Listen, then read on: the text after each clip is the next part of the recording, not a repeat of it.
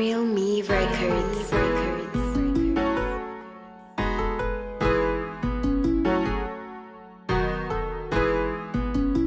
Wesley probably made this beat.